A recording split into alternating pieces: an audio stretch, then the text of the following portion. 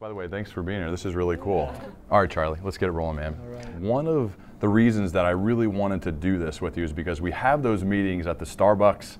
I, maybe I shouldn't say your place because people will swarm you, but the place where we go to meet um, and have our one-on-one chats. And, and throughout the course of those, I always thought, we should have these conversations mm-hmm. recorded mm-hmm. based upon all of the knowledge that you're sharing with me, the wisdom I'm gaining from you, from everything that you've learned. So that's why I really want to do this, and I appreciate uh, you joining pleasure. me here. Yeah. And I, am curious, so to get us going, as you know, because uh, I appreciate you being a fan and listener of the show, I love learning from people who have been around fantastic leaders, who have studied leadership, guys like you, who exhibit the qualities themselves people who sustain excellence specifically, as you know, mm-hmm. I care about that. And I'm, I'm curious from your perspective, what are the commonalities you found in those people who have sustained excellence over an extended period of time? Well, I've had some tremendous mentors. Uh, you don't last long in leadership without people who are ahead of you. And the two that stand out to me, uh, Bob Russell and Gary Sweeten, Dr. Gary Sweeten, very integrated individuals they're not disintegrated. In other words, they're not chasing a bunch of different things. They don't have a bunch of different motives. Their motives are consolidated and coalesce toward a particular self mission. And for me, that has been incredibly useful. Mm-hmm. Because when you're in a ministry position, you get all these opportunities to do all these different things, right? You, you get, you get, you know, hey Charlie, can we have coffee? I've got an opportunity for you. And uh, my personal mission statement of I exist to bring heaven to earth by serving my family, growing the local church, and participating in athletics has been incredibly integrating for me. So it keeps me, when there's this opportunity to do this money making thing, to be honest, mm-hmm. uh, I've always felt like I, that would distract me. And I've, my focus has always been on Dayton, really, since I've been here. Warren Buffett said the difference between people who are great and really great is the ability to say no. I'm feeling like that's what you mean when you say integrated because I would imagine you get bombarded constantly. I know you don't say that, you don't brag about that, and I'm texting you and you always respond and you want to meet, and mm-hmm. I'm very appreciative, but I got to imagine that there's always ideas or things that people want you to be involved with based on your leadership over the years. Well, there are, and, and it goes back to, I think we were going to talk a little bit about family, but I chose, my dad was gone 25 days a month. Really? Wow. And I loved him and everything, but I didn't have enough of him. And I was never going to do that. So the, the result of that was it was a real easy thing for me to say no to traveling. I just that wasn't going to be my focus, my career. I think I had the gifts to be able to do that, but the combination of that, I wanted to be focused on a local community and a local church. It happened to end up being Dayton in 1992, and then I don't want to be a dad who's absent. It it really integrated my life. What did your dad do? He was an electronic engineer by trade. Okay. Um, very bizarre. I, he, I thought he was a teacher.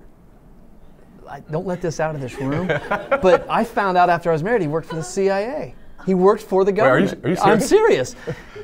and I, and I, even to the, I remember when he told when he told me that. I remember he took out on my parents' property. He took my wife and I out to like the back 40, and uh, he said, "I got to tell you something." And it's still to this day is bizarre. Yeah. It was the Technovate in Florida. I probably shouldn't say the company name. uh, you know, whoops, uh, selling government secrets. Uh, he, yeah, it was a, it was a covert company, and and it was. It, he was gone. I remember. I remember. That's why he had to take off when the Challenger exploded. Really? Like he had to take off. Like he, we were literally. I remember. I was on break from, and I was in school then, finishing up school, and we had to take break, and he, boom, he took off. Really? And then you know he told us that that's that's why. So he was gone, and and, and then you can imagine an individual like that. My dad was really fascinating. He was half Apache, half Irish, raised in Southwest Texas, graduated from high school at 16. I mean, just a yeah. tremendous football player. Uh, my love of football came from my dad, who ended up coaching, and but I didn't get enough of him. Yeah, I, I didn't get enough of him. Yeah, and I mean we reconciled that and everything before he died, but it really helped me integrate my life to say I'm not that's and I would do that again.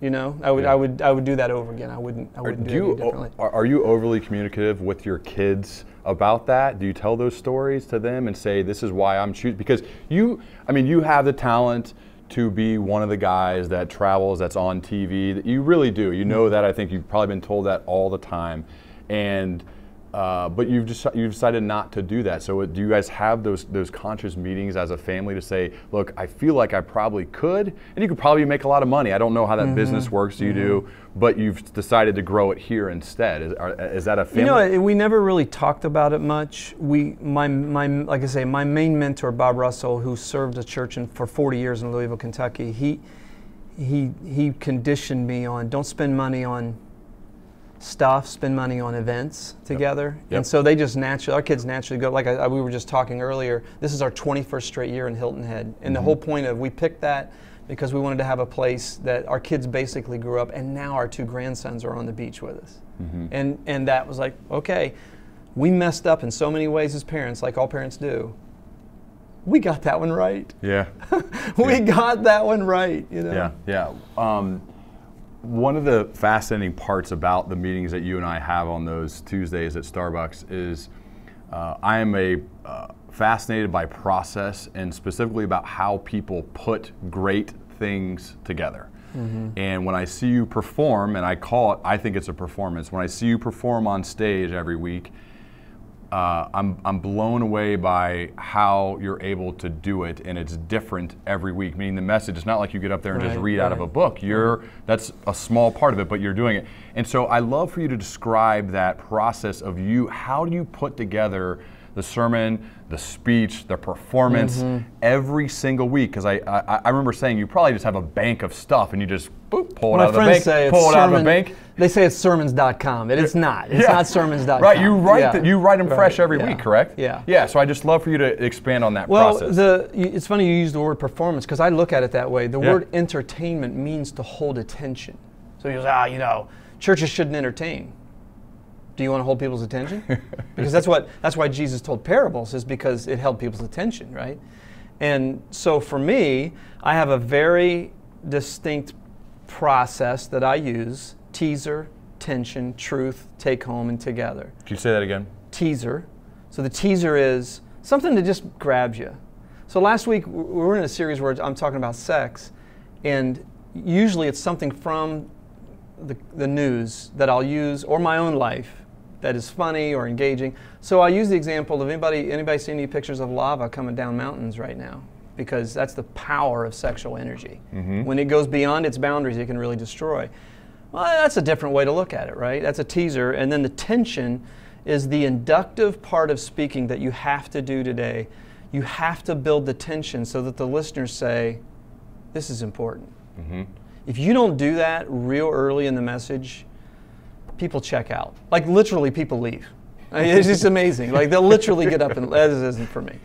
And and then you know the truth is the part of it where you say, okay, for like for me in my position, this is what Scripture has to say about this issue. The take home is then what's the practical do? What's what is the what is something you can do, or two or three things you can do, and then the together is I always try to end on. isn't this the kind of person we want to be? We. You always try to end on we. Like we're. Don't, don't we want to be? I mean, you remember this. Like you could go back on messages because you're a I tell people that Ryan and my son Austin are my two biggest fans, you know, but because you analyze that stuff, right? That it almost always ends on, isn't this? Doesn't your heart yearn to be this kind of person? Wouldn't Wouldn't it be amazing if we were all this way? Yeah. You know, and uh, so I have a very distinctive process. Most preachers were trained to go deductive, and that would be truth, take home, together, maybe, but usually truth and take home. You hmm. can't do that now. It has to be inductive, where you draw the listener into, they draw their own conclusion, because that's how people really learn, is when they, they learn on their own conclusion. Mm-hmm. And then once you sense that people go, okay, and, I, and now I can sense the lean in. I can sense when there's the, let my people go, you know, mm-hmm. or leaning into, wow, this is really relevant to my life. I, um, but the part that is new, so how do you decide? Not necessarily the message, because I know there's there's there's themes, and you have mm-hmm. it planned out for a while in advance. Say, mm-hmm. okay, like oh, in June we're doing this, in May we did this, in March, and even probably the next six months or mm-hmm. so. But when you weave in current events, current and new research, you you are studying the same people that I interview on my podcast. yeah. I've heard you say their names, yeah. their books, their speeches. You reference that work. That's all. A lot of it's new. So you're bringing in new uh, research with old stories, and then finding a way to weave it together. What is that process like? How do you put that together? Well, I told you we've talked about this. the the The best description of this is the Medici Effect book by Frans Johansson, where he talks about the the Renaissance happened because seemingly disconnected entities were connected, Yep. and so he uses the example in that book of scientists who took a certain kind of goat's milk and mixed it basically with a certain kind of spider's web and created this incredible linen, this silk. Mm-hmm. Architects in sub Saharan Africa learned from ants who created these tunnels that allowed water to flow through the tunnels and then air, and they stayed at constant 72 degrees in sub Saharan Africa. And architects designed buildings in sub Saharan Africa without air conditioning that stayed at 72 degrees and and it was all modeled off ants. So ants and buildings, what do they have in common? And so that's what I do all the time. So I'm always like my brain is always, what does this volcano story have to do with sex? Wow, that's not a hard one. Anybody could you know see that one, the, the, the hot lava kind of thing. not to embarrass our audience here, but uh, uh, you know, so there I'm always doing that. You know, we did that, that probably the most impactful series in my 26 years we've ever done was that stress series that we did. Yeah, I got it marked. Where you know uh, the the upside of stress book that we've talked about, Mm-hmm. and one day I saw a quote that emotions are like waves. You can't choose which ones come, but you can choose which ones you're going to ride, and it hit me.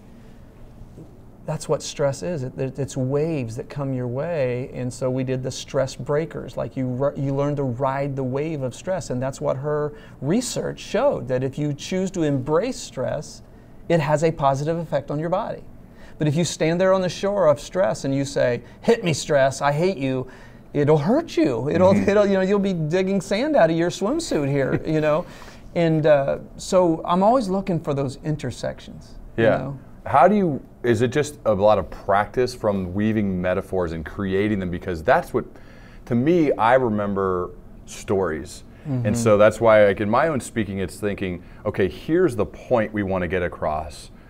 What story comes up with that? And my whole, my favorite process of books too, and speaking is story, science, story, science, story, Yeah, right. science. Because I remember the story, and then the science kind of comes along with it, and then when you create metaphors, it really hammers it, It home. does. That's right. You know? It validates it. Well, and and you know the for me it's it's a habit of looking at life. Like people say, how long did that take you for, to put that message together? Oh, about 30 hours in a lifetime. you know, about about every one is that way. You know, some of them Yeah. are less. But that whole sermon series on stress breakers, I that was a year in the making. Hmm. You know, you I was. It started a year and a half before that when uh, when I read the book and and then you know just watching my own life because I read that because I wanted to see stress differently in my own life. Mm-hmm. Which is, by the way, one of the great intersections. And you, I know you read Charles Duhigg's "Smarter, Faster, Better." Yeah, the talk to him, yeah. chapter on the production of Frozen Yep. and West Side Story. Uh, I had our creative team reading it. I said, read this book. I got them copies of the book. I said, read this book, but go straight to, I think it's chapter seven. Go straight to chapter seven because Frozen was a very mediocre production until they had the screenwriters intersect that story of the two sisters with their own story. And that's where it really comes to life.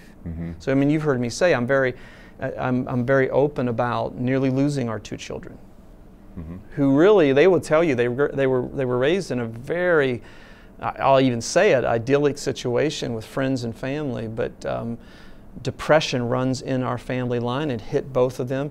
And so I'm open about that. And that intersection, when you take that intersection of that reality, and then you make an application to people's lives, you have listeners. You have people who, and especially in the church, because people aren't used to authenticity in the church. They're, they're just, you know, Yeah. they're just not think- used to that. What's the challenge of being the, the, the son or daughter of somebody like you? Uh, you're uh, a, a, a well- Yeah. you know, a, a well-known, uh, high-performing, uh, guy who's grown a church, who's had immense success right over the course of your life, both in athletics and then you know what you're doing now, obviously over mm-hmm. many years. What do you? I, am curious about those conversations because right, you, you are open about this. It's about, you know in the last few years, as you know, they've yeah. become very open about how hard it was. Right. We we thought we started such a different church. Yeah. That we thought our kids are going to be different. They're not going to be the typical preacher's kids that have all this pressure because nobody's going to know who they are. Well, enough people knew who they were. Yep.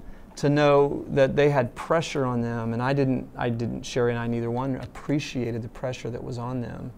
But that's true. I have friends whose dads started and built successful businesses, and their children experienced, it's called the famous father syndrome.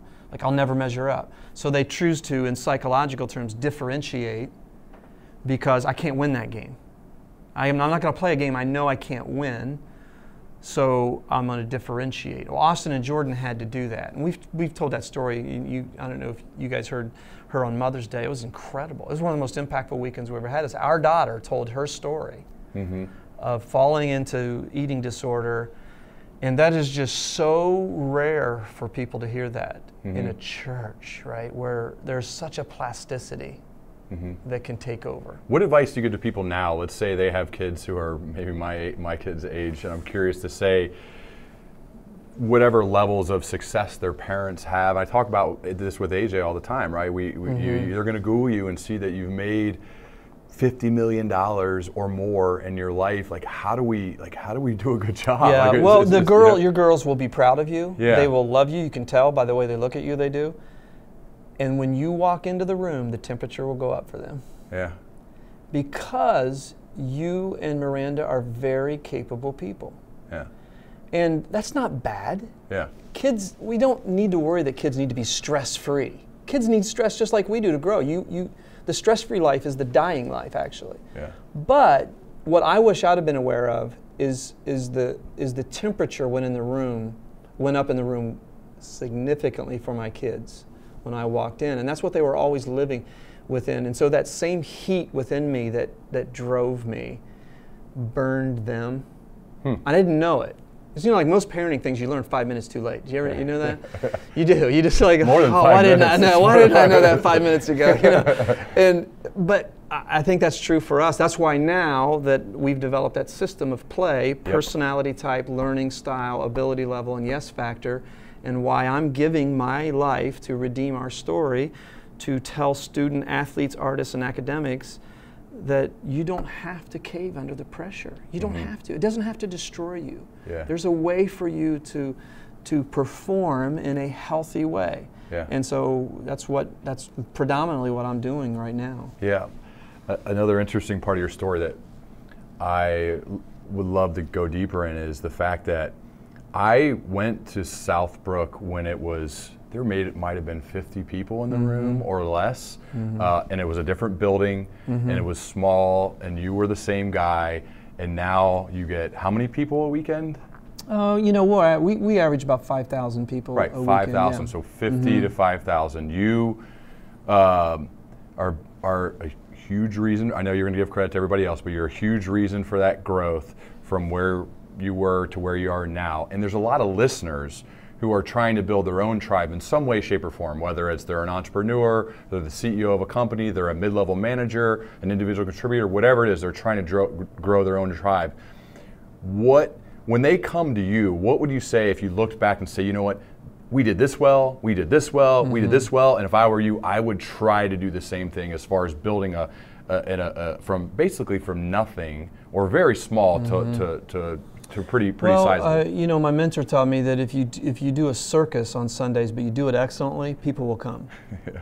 And we have felt like a circus sometimes, so that fits real well. And I do believe that. I believe that there has to be a commitment to excellence that is you. You can't fake that. You can't you can't be someone that does not desire excellence in every area of your life, and then and then oh, but we're going to make our entity, our organization, excellent. It, I think Aristotle said it is it is a habit, right? Mm-hmm. Excellence is a habit. So for me, the commitment to excellence that is dangerous because it easily becomes perfectionism. And the difference between excellence and perfectionism is excellence is expressing my worth and ennobling others by saying I care. Perfectionism is trying to earn my worth. hmm. by being perfect. And trust me, I've gone over that line many times what in many can, ways. Can you, can you expand on that? So perfectionism is I've got to be perfect or I'm not worth anything. Yeah. And I'm a perfectionist. I'm, I'm you know, I'm, uh, it's by nature I am. And, and so many of us as leaders start out that way. And Yeah. then, you know, my motto today is maturity is way underrated. Because now I'm actually, I- I believe, more excellent in what I do because it's not as compulsive. Excellence comes out of a peace.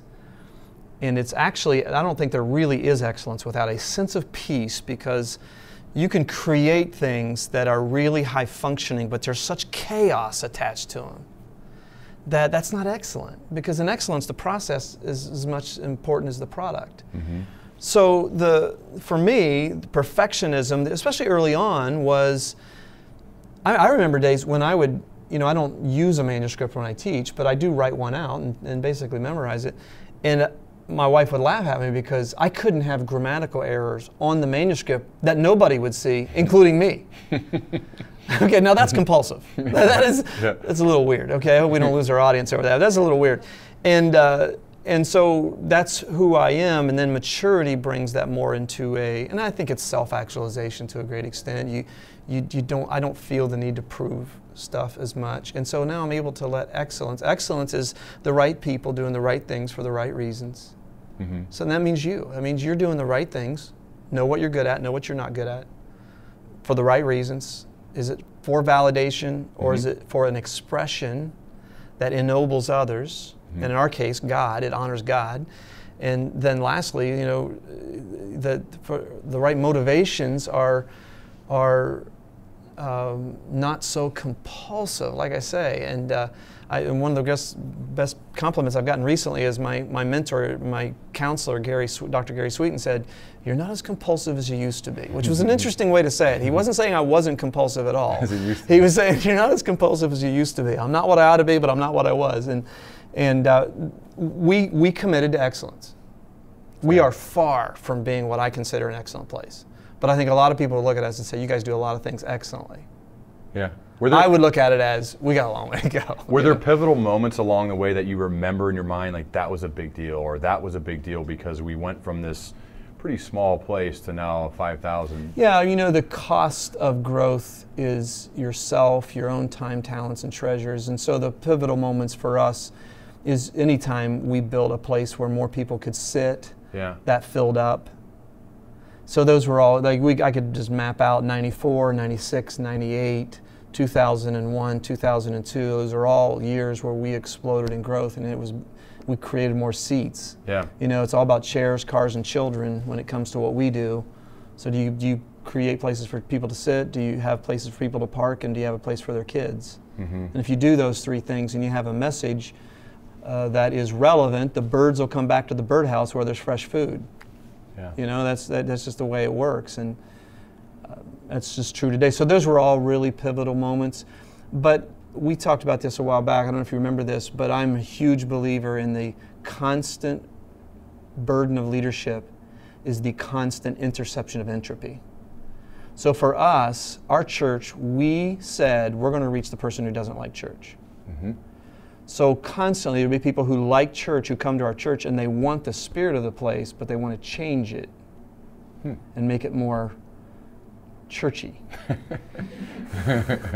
and the, the, for me, the hardest thing has been 26 years of standing and saying, nope. Throw a rock up in Dayton, it's going to come down on top of a church building, first of all. Yeah. Okay, so there are plenty of those. It's Yeah. great. We need churches for church people. But ours was going to be for that that SOB who thinks there's no hope for him, Yeah. you know.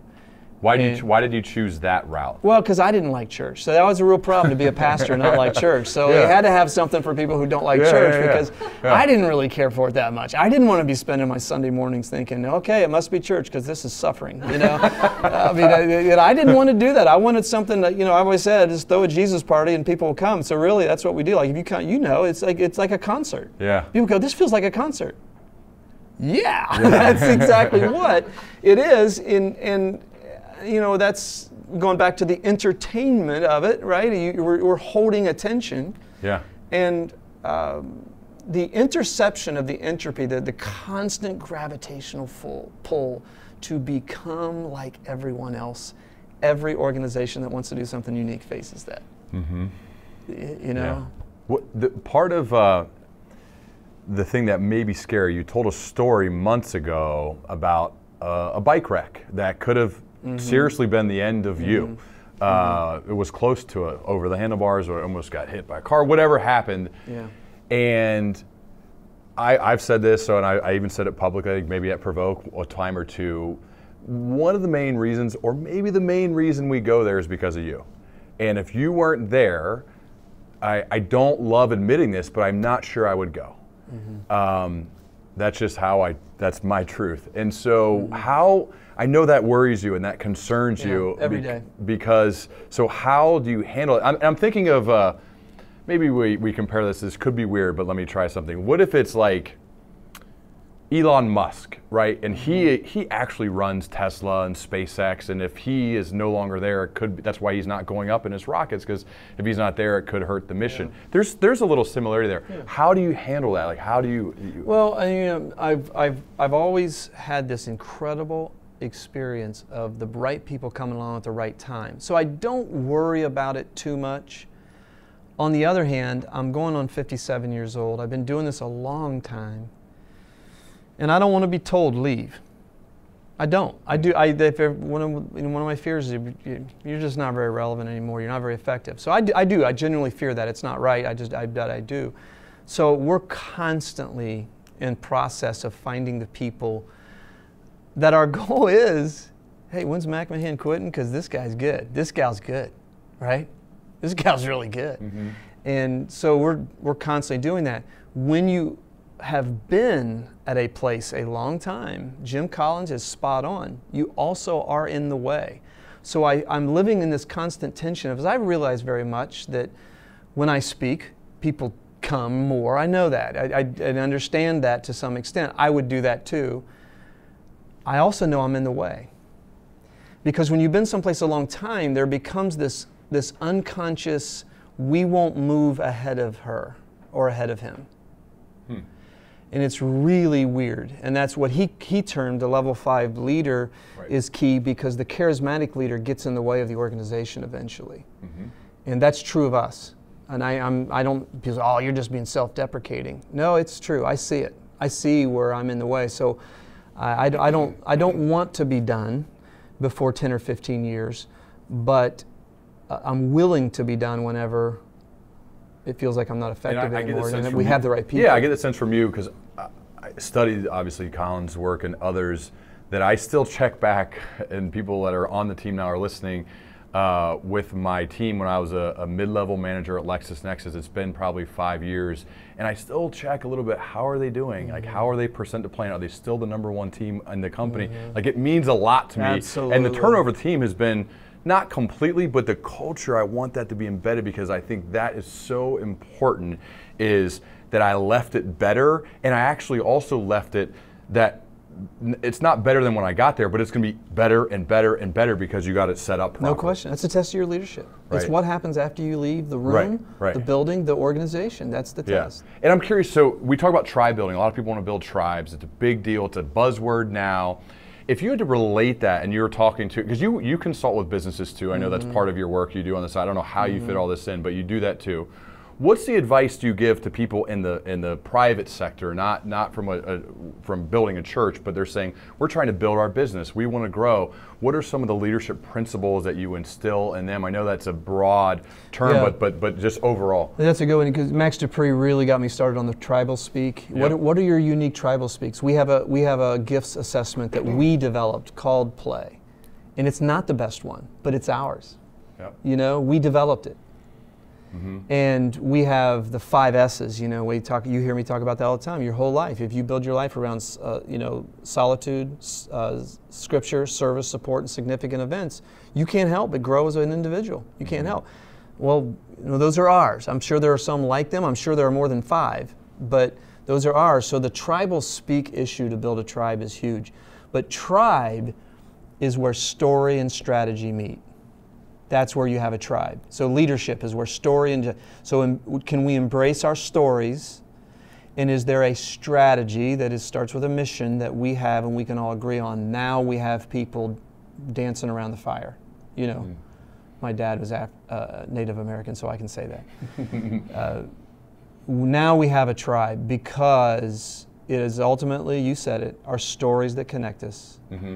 And when you put a strategy to that, that people go, I believe in that. It's an accelerator of those stories unifying. Mm-hmm. And that's when you have synergy. You yeah. know? So for us, it's recovery. Our church, if you if you peel the onion of Southbrook away, what you'll find in the middle is utter, utter brokenness brought to God. Because the core atom of our church are all of our people who started this that, that needed recovery. Hmm. You know, and that's why the church is so irreligious.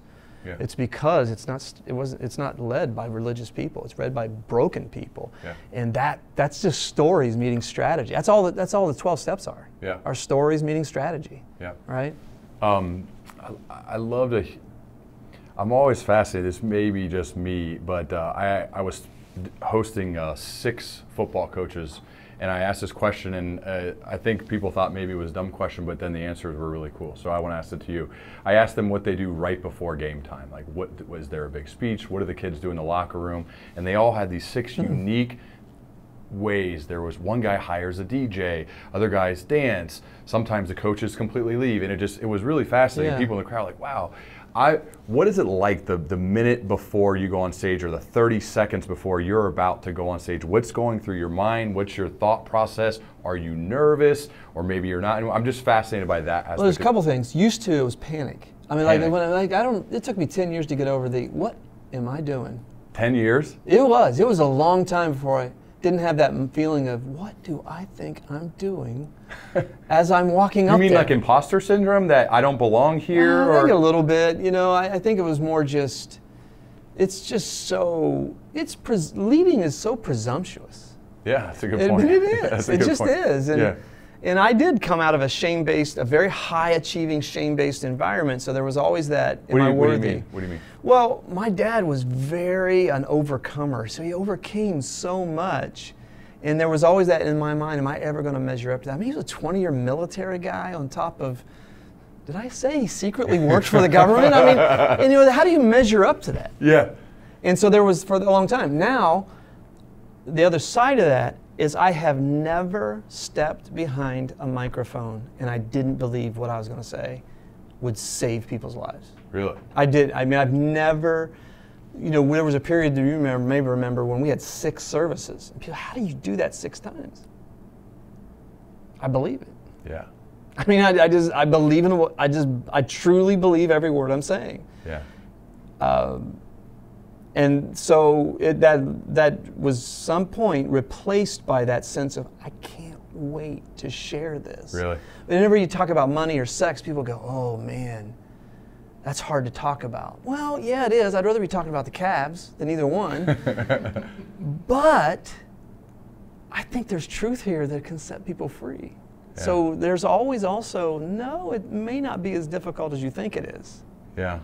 Uh, was there a point, because you've had, I can't even imagine the thousands of hours of reps. Mm-hmm. And this may be just selfish to me, but was there a point where it was just sheer excitement because it sounds like that's where you're at now. But but what was it like at the beginning part as you're getting you're getting on stage more? How did you become good at it? Did you feel like you had a natural gift for it at the beginning, or you really had to work at well, it? Well, both. Okay. Because I the, the I didn't even think about public speaking until a speech class my third year of college when I had to give a three minute speech and wondered what am I going to talk about for three minutes. and now you can't shut me up. And something happened in that three minutes. Some, like people leaned in. And then, so there was that. Fast forward to 2011, I reached what I computed to be the 10,000 hours of preparation and delivery on messages. And I am a big believer in that rule because it, for me, since I hit that 10,000 hour mark, yeah. it's easier to prepare, it's easier to deliver. I used to teach 35, 40 times a year and I'd be worn out. I've been, te- I mean, you know, I've taught yeah. a lot this year. I just, most days I'm speaking somewhere. I'm not tired. Yeah. I'm not. I mean, I, so th- I am a huge believer in, you know, I know you're writing the book and everything. You put that 10,000 hours in, I think there's something to that myself. Why, there the was for me. Why, why, why don't you have a book? You know, my, my, my daughter says it well. She says, Dad, because I do, I have so many book ideas. Well, I you've mean, I have probably so many- written I know. 15 books. But I, I mean, seriously, if you- I'm so, I am such a geek in that I have so many interests. I think I've told you, you know, like I have this whole workshop downstairs where I have recreated the all NFL decade teams in statues from the 1950s to the 1980s. So it took five years to do that, like down to the detail of the uniforms. I just love that. I love like if I have time, like today I have about two hours after we're done here before I got something else. I'll run home, and I'll go down to my basement, and uh, I'll, I'll tinker down there, and that's that's the time I should be writing. Well, you do write every week, though. I You're do. right- I do. every week. so, when I'm when I'm done with that, like I'm not even done with the sermon yet. I'll finish that tomorrow. But I just I just want to create. You know, I just want to tinker. You're an 'Cause I do. I, I am. Yeah. I'm really. I'm strongly artistic, and and I I she said, Dad, you just have too many interests to write, and she meant that as a compliment because there's some truth to that. But on the other hand, there's so many mediocre Christian books. I don't want to put one more on the shelf. yeah. So it's got to be something that I feel like I think the world needs this. I think Russia needs. I mean, it's got to be that. You know, they need this in Poland too. You know. What does it look like though when you write a when you write for the week? What is it a? a So it's about 3,500 pages or words. Well, excuse me. well, yeah, yeah. I, I, I do have. I do carve out time to you write write a book a 3,500 pages a week. Uh, you know, just in my spare time, I write this dissertation. Uh, uh, this is about 3,500 words, and you know, and then it's it's on my laptop. I transpose it to my iPad or my iPhone, and that's what I speak from, or you know, or memorize from. And you you know, um, I typically don't use notes very much. yeah. Part of that is because I, I have the outline in my head of teaser, tension, truth, take home, and together, and and but that's you know that's usually done by noon on Friday, Yeah. so that we can get the slides and everything together, And then you deliver it three times. and then deliver it three times. Are you better the third time than the first time? I think so. Okay. I think so. A lot of people say, "Oh, I come on Saturday because I know it's going to be best on Saturday." Okay. yeah, go ahead and think that, but it's better on Sunday because I knew I didn't work so well, or Yeah. a lot of times when I'm speaking, and you know this, you think of something.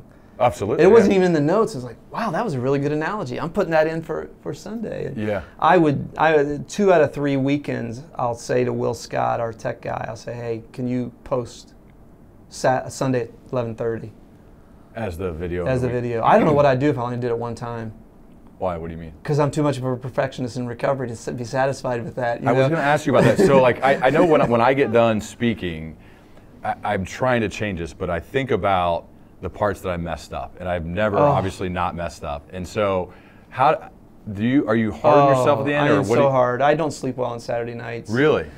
I don't because I ha- I'm cursed with the five minute curse. You know what that is? I always go five minutes longer than I think I want to. You know, so I'm always five minutes longer than I should be, at least. And uh, then I just always that oh I forgot this or I got flippant and I got glib and I said something and Sherry said don't say that tomorrow.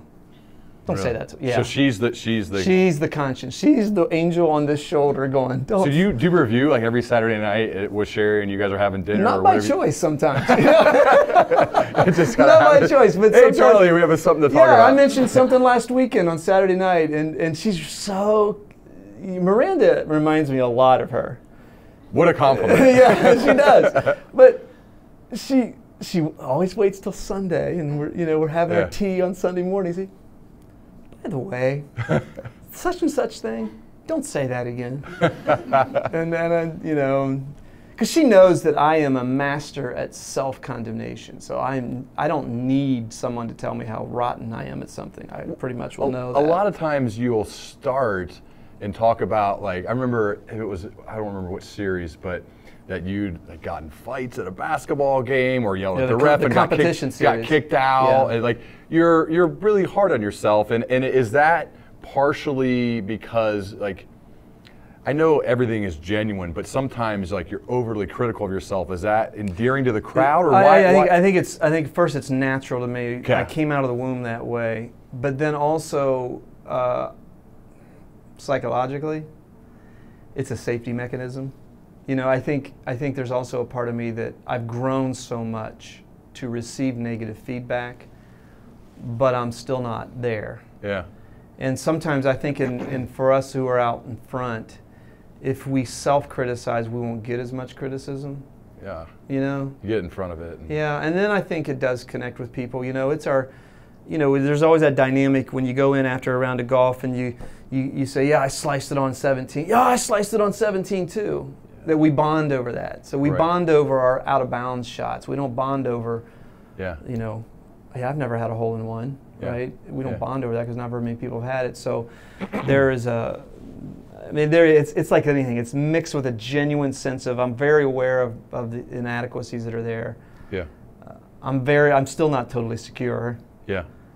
you know, Yeah. so it's a mix of those two. Yeah. One of the um, things you talked about, and I asked you like why you were meeting with me, and I was because grateful for you to invest time uh, when we have those one-on-one chats. And nobody knows you do it. And I know you don't broadcast that, and, you're, and I'm not the only one. There's probably like a line of people. There's always people before me, and I'm sure there are people after me when we go to meet. Yeah, but not very many people I got to watch play high school football, and it was one of the best high school players I've ever seen. So there's a little bit of a, you know, the vested interest in Well, that. I, I'm, I'm glad if it could be a win. We have a lot in that's common, The, that's okay, the deal. yeah, yeah. That's the deal. Um, but I know you're really passionate about developing future leaders. That seems to be one of your. Yeah. number one goals in life. It feels like to me at this stage is to develop the future leaders. Yeah. Yeah, so, you know, the test of leadership is your ability to reproduce yourself in others in the parts that should be reproducible, right? And so I, I told you, I've, I literally, 20 years ago, I remember in 1996 when Ken Blanchard released his situational leadership square of the S1, S2, S3, S4, and the path from direction to delegation.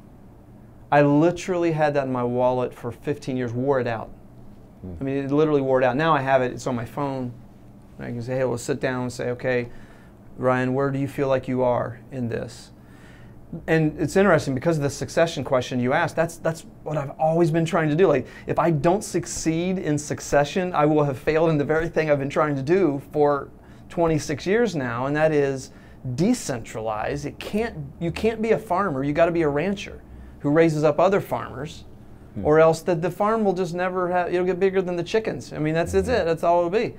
So for me, it's, it's, it, it's, it's those coffees. Mm-hmm. It's those, uh, you know, rounds of golf together. It's the spending time, story meeting strategy. Yeah. You know, I, I can remember where I was standing in my mentor's kitchen when I was a college junior, and he looked at me and said, I can't wait to see what God will do with your life. Mm-hmm. You talking to me? and he saw something in me that I didn't see. So I've always just tried to, what, what, is, what is it they don't see in themselves? Yeah, yeah. Um, you talk, You brought up athletics briefly, and we both have that. Uh, I know you're a great basketball player. I was just listening to a podcast. Ron Howard, the movie guy, actor, uh, really talented, really well-spoken guy, was talking to Sam Jones on his show. It's a great show, and they were talking about why Wall Street people hire uh, former athletes, and they say, "Oh, probably because they're competitive and they win." And he said, "No, no, no. That's not why we like to hire athletes. We like to hire athletes because they lose so much, and they have to respond." And I'm, and you have that in your background. I have it in the background and more. It really made me think, and I said, "That's a great point." There's so many moments when you lose daily practice. Obviously, the games Yeah. it's in public and so you've got you I, how has that impacted you as well as the leaders you worked with when it comes to the fact that you've lost right you've lost in athletics and that's probably made you better at what you do day to day Well, there's there that is one of the most true statements ever made about leadership. yeah Because first of all, I lose every day. Like every day, there's something that doesn't turn out the way you want it to. It, it doesn't get the response you want. And I don't. I was born without rear view mirror, so I can't. I don't. I don't look backwards, but I also don't see myself very well, very accurately. you so you wait hold on so you are you not you feel like you're not good at reflecting on I'm not. I'm just not good at. I'm just not good at.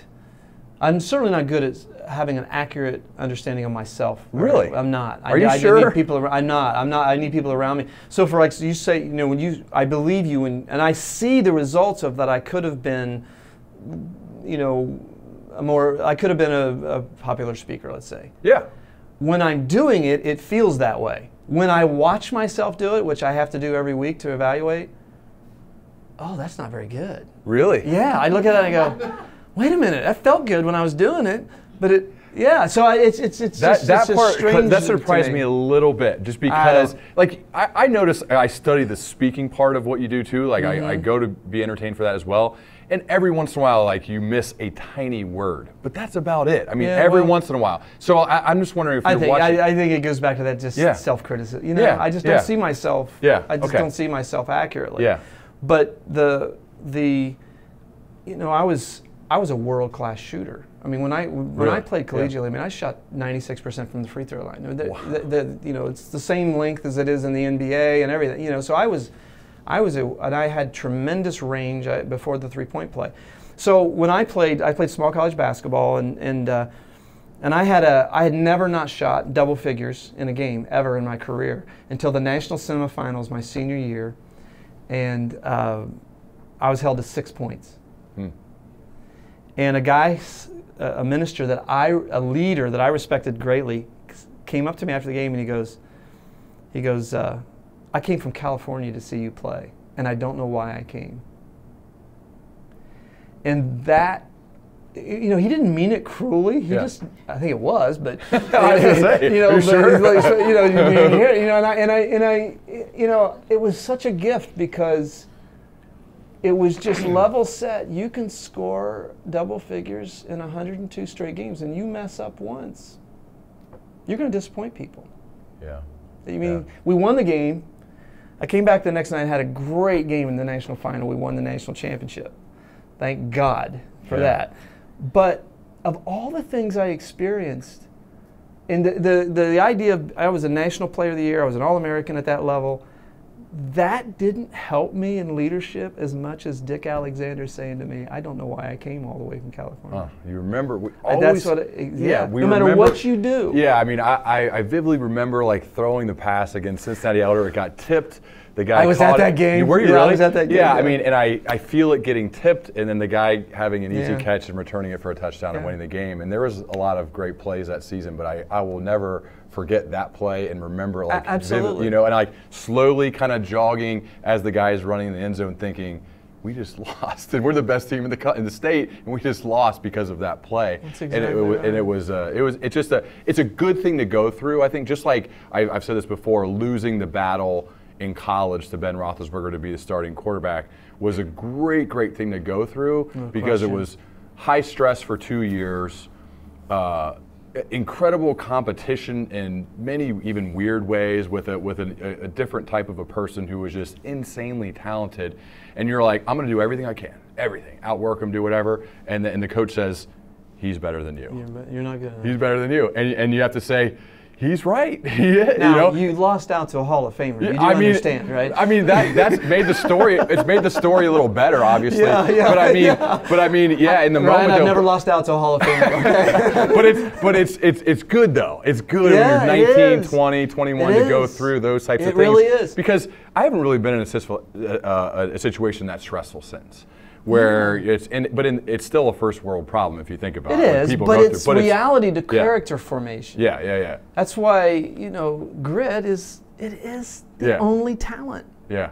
yeah. I remember going to the back to the hotel that night, Yeah, and I, I remember having a moment of, "Is this who I am?" yeah. You know, is- it was like it was gut check time. Am. I? You said it. Am I going to get back up? Yep. Yep. Uh, well, eh, Charlie, this is so good. I could go for hours, but um, for the listeners, we are doing this in the office of Brixey and Meyer. We have some great uh, team members here with us. I want to see if anybody had a question or two Yeah, for Charlie yeah, to yeah. see if you, and and somebody's going to have to be the courageous one to go first. Greg is not in here. This He is why God does- put extroverts into the world I right think I see the leader of the firm is in the corner. Doug or Terry or I'll repeat it. Yeah.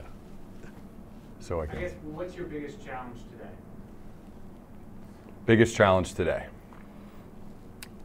figuring out a way to build a succession plan and not leaving too soon. It, it, it, that's the biggest challenge I face. Um, I don't want to leave Southbrook high and dry, but I don't want to hang around too long, and so I, I live in that tension every day. Uh, and then the the bigger, the, the, I'll be candid. is the ministry that I, the leadership I'm in, the ministry position is a character profession. One of my mentors has been released at his church after almost 40 years because of being accused of sexual misconduct. Wow. And that has rocked me. And I, it's just, I do not ever want to go out that way. I mean, that is, uh, you know, that is my, my main goal is to be faithful to Sherry and faithful to the church and faithful to my community. And as small a world as I live in, I realize that if I were to mess up, it would it would send shrapnel out that would affect a lot of people that I care about. And so Mhm. that's a big challenge. Is just making sure leadership starts with self leadership. The most Yeah. important person I lead is myself, taking Yeah. care of myself. Yeah. That means spending time in the basement making football players. That's what that means. That's your hobby. The That's my hobby. That's- Austin it's- Kleon told me we all need hobbies. We Not do. something you don't We have to go sell it or do it, but we need No, little and I could make, and like I made the top hundred Cleveland Browns of all time. No jokes here, okay? uh, and and I can one. I can sell that. yeah, autogram, autogram. Baker Mayfield. Maybe. Yeah, You I, and hope so, I hope so. Uh, but I could sell that for thousands of dollars. It's really good. Yeah. I don't. I just No. want something that's mine. Nobody evaluates it. I go down to the basement and I look Yeah. at it and go, "That's really good." Yeah, yeah. And no, you know, it is. Yeah. You need a hobby that no one's evaluating, no one's uh, putting a, a price tag on it. Yeah. Yeah. Uh, we. Any other questions, thoughts? I, you're smart. Oh, go ahead. um, So I know that you had the, the, um, s- the series of the stress breakers, and I'm just curious with, when the church is so large and you can't please everybody there, how does that take a toll on you and? Yeah. So, how does it take a toll on you when you can't please everybody? That's a question. Leadership is the art of disappointing people at a rate they can handle. It is. And most of us leaders are codependent when we go into it, but you will either die or heal of your codependency. Mm-hmm. Because you cannot sustain trying to please people. And tr- trust me, I've tried. And goes back, Ryan, to that question about saying no. Every day I disappoint people. Every day I disappoint people. I mm-hmm. s I and I'm intuitive, so I read it. If people are mad at God and God has disappointed them, they're mad at me. so they project that. It's that imago Deus. They project that. So, not to, I mean, this is the first world problem for sure. But as a person who wants to be liked, everybody does. It- You just you better learn to manage that and heal from that need to please people, or you are going to get fried. hmm If you try to please everybody, you're, you're going to end up probably pleasing nobody. Pleasing nobody. Yeah. That's where your mission comes into play as a person, as an organization, because we say this is our eye on the ball, Yeah, yeah, right? yeah. Any other? I just want, I was at Provoke on Tuesday, and I want you to like, in a small snippet, recap how important it is for like continued growth. And how you said like it was, it's painful, Mhm. but it's so necessary to Mhm. with leadership and then have that like apprentice under to Yeah. over. So the questions are on, a, on the importance of continued growth, having an apprentice in, in, in your process Right. as a So leader. what we talk about, what we talked about Tuesday was the PB and J thing that I've come up with. You know, we all grew up on peanut butter and jelly. This is, in a in a scriptural way, Paul, Barnabas, and Junior. It's Timothy, but it doesn't fit with PB and J if you say Timothy. PB and T just doesn't roll off the tongue like PB and J. And you've got to have people who are Paul. They're ahead of you, and they stretch you. They challenge you don't st- you know we were talking about this with coach Ullery. there were times where you didn't like him Of course, yeah. right Yeah. but then you need barnabases these are people who are alongside you they're your peers and, and we're in this together and, and, and we consolidate around our shared stories but we also grow most when we have our juniors the people that we're pouring into Teach. nobody grows like the teacher nobody grows like the leader Yep. and so you, you know, people like that keep you on your toes because when you have that 360 degree influence around you, you can't fake it. hmm You can't fake it.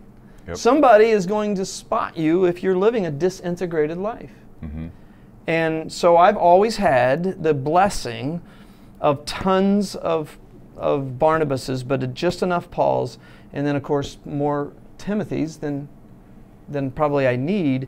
And that keeps me growing. The one thing about today, is if you don't keep growing, you're going to be in- irrelevant in about three years because the world is changing so fast. Mm-hmm. I am stunned by how quickly it's changing. Mark talked about that in the, in the podcast recently, Mark Divine, that just the quick change. If you don't keep growing, Yep. sayonara. Yep. One of the, the, the greatest ways I found to really understand your own beliefs is to teach. And that's why I bring it up. Doug and I have done a few leadership circles where, with his groups that are incredible, I'm them with my own groups too, where we I ask them for a specific topic that they feel like they either have mastered or have come close to mastery, that they would be willing to create a, pr- a presentation and give a speech. The presentation doesn't matter. It's just the fact that they get up and they and, and they can do it because if anything else, that forces you to really understand whatever. I don't even care about the topic, but uh, when we've gone through that exercise and people really think it could be putting together the Cleveland Browns or whatever it is for anybody. Um, but it, but it, it really uh, hammers that home, and I think the Philadelphia 76ers did that this year, where they had each individual player. They said, "Look, you have to give a presentation. It's like I think it was 10, 15 minutes, and it can be on anything you want. But you have to be a teacher for those Yeah. 10 or 15 Yeah. minutes, whether your hometown or somebody did it about tacos. I mean, anything you want. But it's just the fact of the practice of being a teacher is when you really It just, learn writing makes a person exact. Yep. So when Yep. you write it and you have to speak it, you, Yep. you, you, you know, if, it, if it's hazy in the podium, it's going to be foggy in the chair. You know? So. You got to be specific. You, you can't be hazy. Charlie, uh, again, I could go forever, but I appreciate this. Uh, one, one more thing. So I, I used to ask it all the time, but I know you and I have talked about it. When you heard the, for the first time the phrase learning leader, what did that mean to you, or what does that mean to you in the fact of uh, uh, when you first heard about the show? Well, two things. One is there is no other kind. Yep. And secondly, it also makes me reflect on our staff would la- they would laugh at th- that question because they've heard me say a thousand times, if you don't read, you can't lead. Mm-hmm. And then they're inevitably one of the staff who has a reading disorder or you know they like they don't read real well, they'll say, "Well, but I'm not a good reader." If you can't listen, you can't lead. Then just get audible and Yeah, listen because yeah. because there is no other leader than the learning leader Yeah. and growing. And you know, we share you and I can talk about the books we read. Yeah.